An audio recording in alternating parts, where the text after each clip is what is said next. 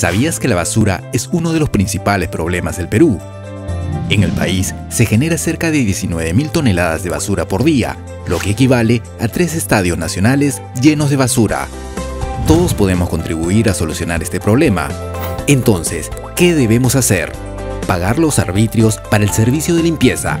Siendo responsables con el pago de nuestros arbitrios, podemos recibir y exigir que el municipio nos brinde un buen servicio de limpieza pública que permita una recolección domiciliaria diaria con una flota de camiones adecuada, constantes barridos de calles, avenidas, pistas y áreas públicas, contar con personal capacitado y que trabaje en condiciones seguras, que los residuos sean dispuestos en un relleno sanitario seguro y autorizado que no genere peligro a tu salud y la de tu familia. Pagando los arbitrios tendremos menos basura, un barrio y ciudad más limpios.